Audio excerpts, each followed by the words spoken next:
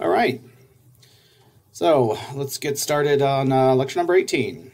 This lecture will uh, continue our discussion of um, drugs of use and abuse. The second half of the term, we'll get into talking about drugs used to treat uh, mental illness and disorders. But for now, uh, we're in uh, this area, and we've moved on from um, sort of legal low grade stimulants like caffeine and nicotine, and now we're going to talk about psychostimulants. In this particular lecture, we're going to focus on cocaine, and in the next le lecture, we'll focus on the amphetamines. Uh, so what we'll do today is talk first a little bit about the pharmacology of psychostimulants, their primary mechanisms of action, uh, their examples, physiological responses, and side effects, and then we'll get into talking about cocaine specifically. So, uh, in terms of how these affect behavior, they do elevate mood, they induce euphoria, they have uh, the ability to increase our alertness, sometimes to the point of paranoia. They certainly can reduce fatigue, and that's primarily what a lot of amphetamines um, are used for. Uh, particularly uh, in the military, uh, pilots are given go pills, which are uh, dextroamphetamine. They increase our energy and decrease our appetite. And part of that has to do with the sympathomimetic actions uh, which these drugs take. They can improve task performance, primarily for well learned tasks. Um, at some point, the uh, euphoria, mood, uh, and alertness gets beyond the point at which you can uh, perform tasks. So you're not going to sit down and uh, write a novel while you're using cocaine, for example, but you can do fairly simple things, clean house, uh, things that are well rehearsed. Same thing with amphetamines. Uh, amphetamines can improve performance to a point, and then we go beyond that and get into uh, crazy town. And they can relieve boredom, but you know it's probably better to just turn on the TV or go to a movie. Um, So the primary mechanisms of action for psychostimulants is they all augment synaptic action, actions of dopamine in different ways. Uh, all are behaviorally reinforcing. They all also have medical uses. So these are primarily Schedule II narcotics. Uh, so for example, amphetamines are used to treat uh, ADHD. Cocaine is used as a topical numbing agent for sinus surgery, uh, etc. All of these have significant side effects. They can have toxicities at high levels and consistent levels of use, and certainly are um, prone to patterns of abuse. So it doesn't matter if we're talking about amphetamines or cocaine, they all have fairly similar mechanisms of action. Cocaine is primarily dopaminergic, whereas the amphetamines are also going to involve norepinephrine to a great extent, and cocaine does as well. Um, but their primary mechanisms of action are relatively similar. So, some examples of uh, amphetamines or of psychostimulants include, the amphetamines. So uh, we've talked a little bit about this. But Adderall is a racemic mix of dextro and levoamphetamine. Um, dexedrine is just simply uh, dexo, um, dextro, dextroamphetamine or D-amphetamine. Uh, methylphenidate is also known as Ritalin. Uh, ephedrine uh, is also available sort of in an herbal form, which is mahuang, which is ephedra. Um, ephedrine used to be available over the counter um, as did ephedra, or ephedra, sorry, uh, but both were banned uh, back in the 90s. Uh, cocaine, which has been illegal since the uh, early part of the 20th century, and then cathinones, uh, including khat, Scott, and miraa. The physiological responses of psychostimulants uh, are that they are all sympathomimetic. They induce a fight or flight slash fright response. And this is one of the major side effects uh, of these drugs. They increase, increase blood pressure and heart rate. Uh, they cause pupil dilation. Uh, alter blood flow to the muscles, so more blood flows to the muscles, but less blood is allowed to go towards your internal organs. So when you're engaged in a sympathetic nervous system response for long periods of time, your muscles can get, or your internal muscles can, um, internal muscles, internal organs can suffer. Uh, and in fact, uh, you can uh, end up with organ failure. They also increase oxygen and glucose utilization, and these overwhelm our normal alerting or activating responses and keep us in a high level of alert for much longer than we're supposed to be. So that increased heart rate and blood pressure uh, can uh, be potentially scarring to the heart, and that taking blood flow away from internal organs to the muscles uh, can be particularly damaging. This is one of the reasons why individuals who use methamphetamine for long periods of time often lose their teeth because their their gums retract because they're not getting the level of blood they need. Side effects of psychostimulants include uh, anxiety, insomnia, irritability, and potentially psychotic behavior, particularly over long periods of time. And oftentimes, the psychotic behavior comes from sleep deprivation. So, three or four days without sleep, people really get um, pretty Looney Tunes and will start picking their skin uh, and they'll start doing all sorts of crazy things. And so, that's oftentimes one of those side effects. That then gets us to cocaine. We'll start with a quick run through the history of cocaine. Uh, cocaine's used by several civilizations in South America, Peru, Bolivia, Ecuador, Colombia, parts of Argentina. Was primarily used to reduce hunger and increase energy by chewing on the coca leaves.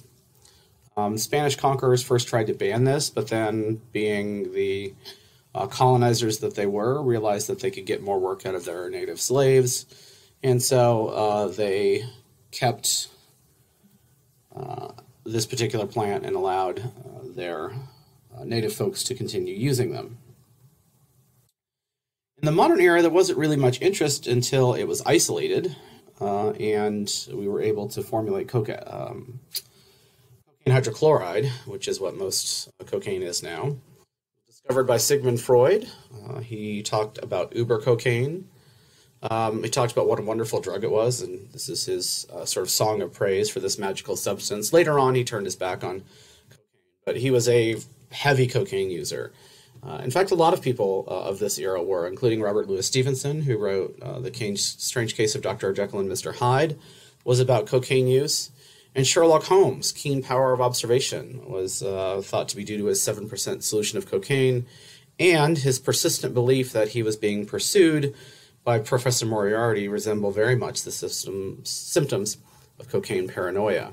And so we can see in literature um, how this particular drug has had a significant effect on our culture, from Sigmund Freud and his belief, for example, that uh, sense of smell was an infantile sense, sense because he had no sense of smell, um, due in uh, no, no, small amount uh, to his cocaine use. Uh, and then you can see it in our literature as well. Cocaine was praised by Thomas Edison, the Tsar Nicholas of Russia, Prince of Wales in those days, Jules Verne, even the Pope. Uh, Coca Cola, of course, originally had uh, cocaine in it, 60 milligrams for every eight ounce serving. That's where the coca and cocaine comes from, or, or Coca Cola comes from, is from cocaine. U.S. doctors thought it might be an antidote to alcohol and opiate addiction simply because it had the opposite effects. Um, We'll talk about this in a bit, but treating alcoholism with uh, cocaine is uh, a particularly bad idea. Uh, so, cocaine was included in the opiates, along with opiates, in the Harrison Narcotic Act of 1914 that banned its use and drove it really underground until the 1960s when its use sort of so by the 1920s, cocaine was underground and limited to the sort of cultural avant garde. Remember, this is the jazz era. Um, speakeasies, etc. So its illegal status made it sort of expensive and glamorous. Um, its use decreased and was then replaced with amphetamine. And what we'll see over time is drugs sort of cycle in and out of fashion.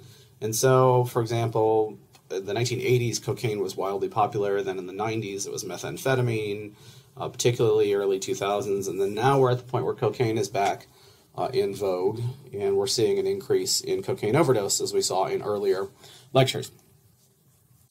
So the use of cocaine uh, is pretty much always determined by price and availability, and price is determined by availability. And so if you look at the retail price of a gram of cocaine, uh, in the United States, we're sort of at the median here at about $100 a gram. Um, in Brazil, uh, we're looking at you know $10 a gram, whereas in New Zealand, uh, $714 a gram. This was in 2005, but I checked, and this isn't too far off. Today, a methamphetamine is often more available. People oftentimes prefer methamphetamine. It has much longer half metabolic half-life, and so it doesn't need to be consumed as often. But because we've had a strict focus on methamphetamine in law enforcement and other arenas, this has now led to a rise in cocaine use. And really, the popularity of drugs simply come and go with the times. Uh, he thinks this is just as fashionable as anything else in terms of what uh, drugs people do. So if we look at uh, cocaine price by country, and this was from 2015, um, prices dropped in New Zealand uh, to about $200 uh, a gram. What's interesting about this um, graph is they've broken it up by sort of normal, what we call street cocaine, and then luxury cocaine, which is usually available from select dealers at a higher price. And again, in the US, uh, we see um, the price is this is in euros. So again, close to about $100 a gram for luxury cocaine, about $80 a gram for standard cocaine. Uh, and again, once again, it's very cheap in Brazil. What's interesting is that cocaine has gotten much cheaper over the years, despite spending hundreds of billions of dollars uh, in a war on drugs. The price in 1981, um, if you bought uh, three quarters of a gram, uh, it was close to $600. Um, you were uh, buying less than two grams, uh, a gram was $600. In 2003, that was down to $100. It's really remained at about $100 uh, since the early 2000s. Uh, if you buy higher amounts, you know, it's cheaper. Um, much like anything else, uh, you can't really go to Costco and buy cocaine, but um, when you buy in bulk, the per gram cost is cheaper. There's also regional variations in the cost within the United States. Um, think Washington, D.C. or Atlanta were the highest prices in this particular survey. Um, again, really not terribly different uh, across the United States, hovering right around that $100 point. Also, the purity of cocaine has increased over years. It's kind of come and gone. Um, in the late 1980s, it was very high purity, um, but still relatively pure in the early 2000s at about 60 to 70 percent. Whereas in 1981, we're talking about more like 40 percent of street cocaine. So, cocaine use uh, is characterized, or its um, effects are characterized by three different actions. First, it's a local anesthetic. And in fact, that's its clinical use is to numb um, the mucosal membranes in the nose for things like sinus surgery. In fact, uh, cocaine users often talk about how their face feels numb, their gums feel numb, etc. It's also a vasoconstrictor, so one of the effects of cocaine is it shrinks uh, blood vessels, which makes it actually harder to do cocaine. We'll talk about that in a moment. So the uh, blood vessels in the um, sinus passages will constrict, uh, because of use, and so uh, subsequent use becomes a little bit more difficult. But it's also, of course, a psychostimulant, which is why most people do it. So powder cocaine is cocaine hydrochloride. It's water soluble and is a less potent form than other forms, um, but that's the reason why it can be um, snorted is because it is water soluble. A typical dose is 50 to 100 milligrams at a time, so um, tenth uh, to uh, what a twentieth of a gram.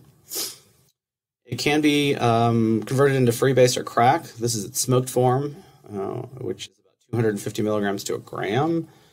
Um, we'll talk about uh, how cocaine can be combined with um, baking um, powder, baking soda, and um, that's how it's generally smoked. We'll talk about that here in a moment. So uh, that gets us to routes of administration and absorption. Uh, it can be absorbed through any tissue, uh, primarily intranasally. There are people who put it uh, in their eyes, which I don't recommend, um, and also apply it to their gums. Absorption is about 20 to 30% due to that vasoconstriction, then that dose continues to be absorbed. Um, oftentimes it's then swallowed. Plasma levels will peak uh, within about 30 to 60 minutes, so relatively quickly. That high is prolonged due to that continued absorption through the mucosal membranes. If it's smoked as bakes, so mixed with baking soda and water, the onset is within seconds because then it's inhaled. That peaks in five minutes and then lasts approximately 30 minutes. So this is uh, when people um, mix cocaine with uh, baking soda and water and then smoke it in a variety of ways, either with a pipe or on aluminum foil. There are a variety of different ways in which that's done. if it's injected, it's about a 30 to 60 second onset. And in fact, injection is uh, far more likely to lead to addiction than uh, intranasal uh, introduction because the uh, dose levels aren't as high and um, it takes longer to absorb, and so it's sort of a longer uh, process where that injection is an instant, very uh, substantial high. So, uh, as it gets distributed, it penetrates the brain rapidly. The initial brain concentrations might actually exceed plasma concentrations because it arrives at the brain so quickly. Freely crosses the placental barrier, so this is a drug that's going to affect a fetus and can lead to heart problems, etc. So, certainly not something that should be done uh, while pregnant. In terms of its metabolism and excretion, uh, the plasma half life here is pretty short, it's only about 50 minutes. Um, we'll see with uh, amphetamine, it's about 10 to 12 hours. So that's the biggest difference between these drugs is their elimination half-life. It's rapidly move, removed from plasma, but takes longer uh, to be removed from the brain.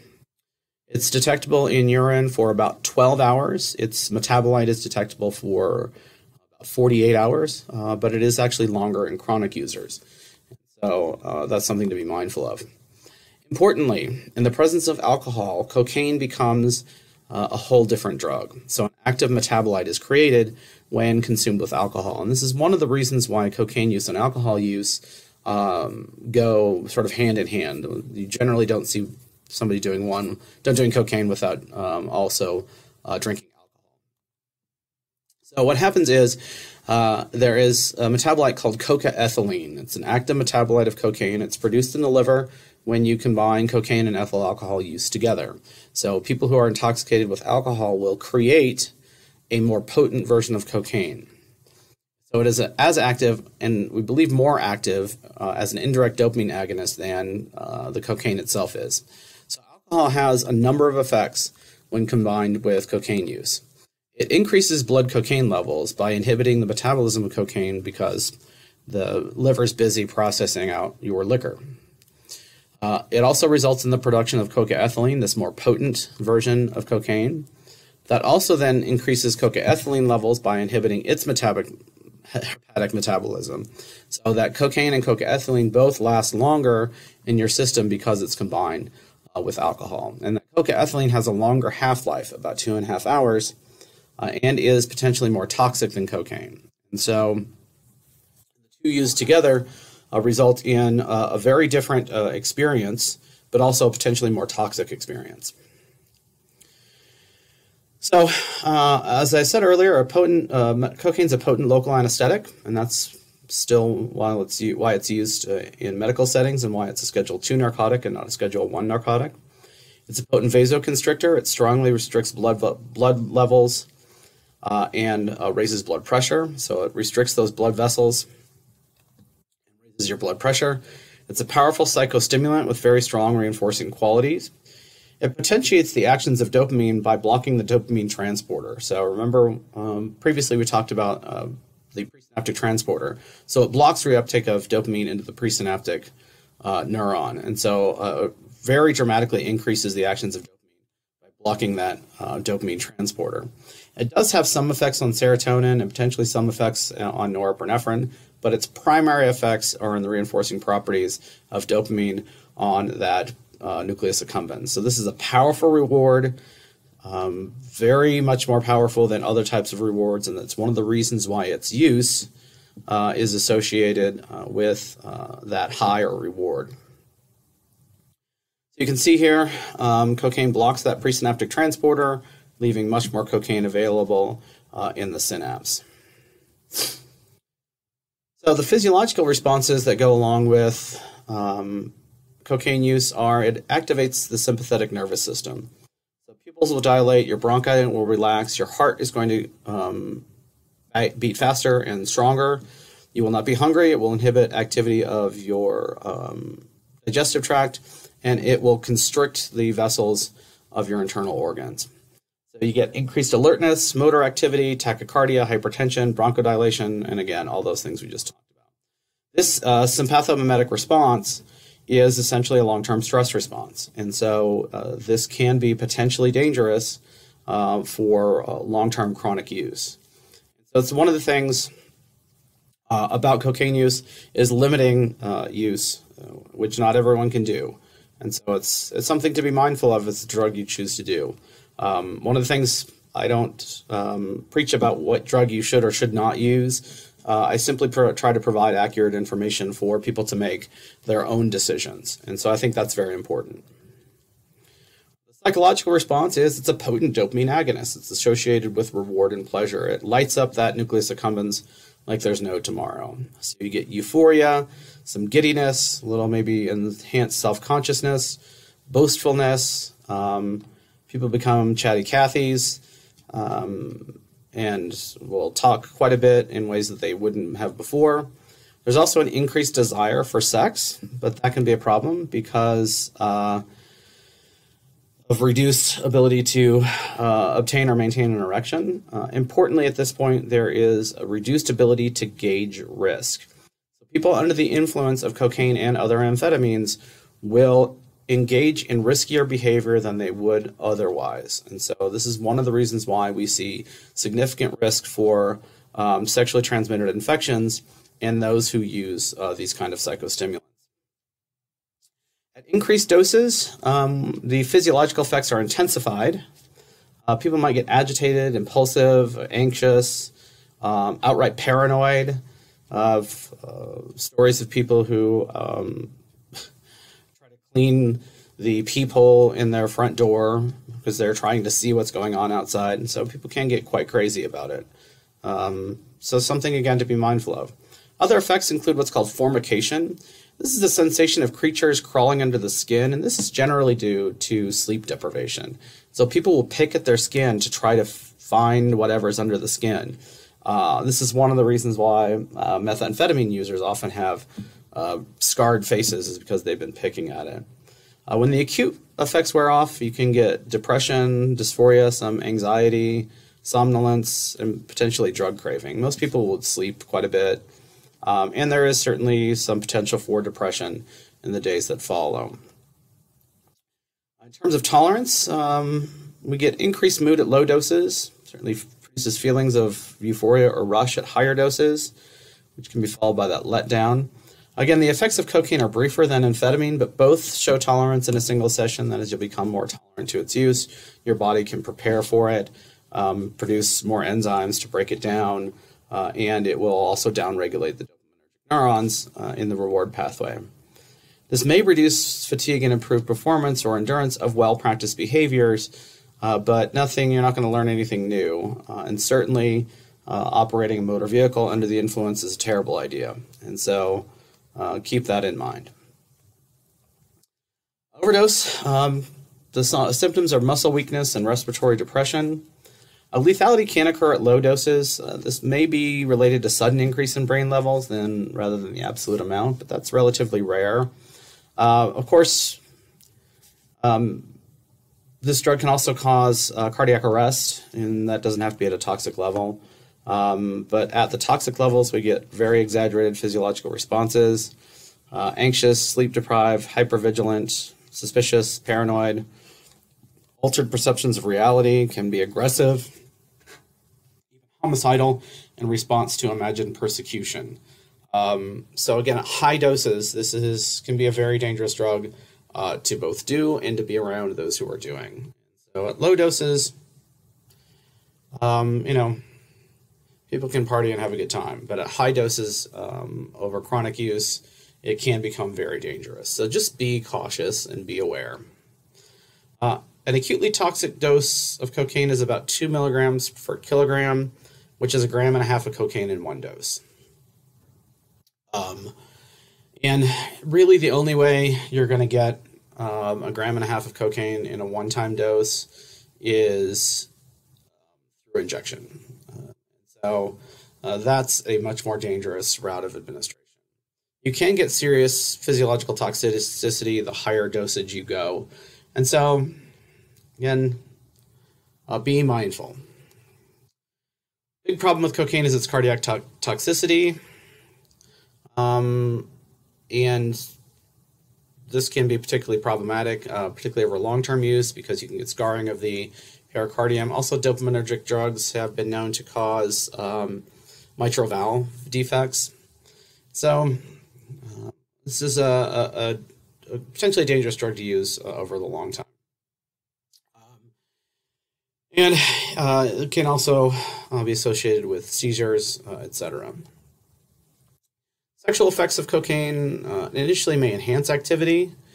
Um, people talk about um, the great effects of having sex while on cocaine. Um, continuous use may reduce interest in sex. A big problem for males in particular is uh, a potential inability to obtain an erection, particularly when used in combination with alcohol.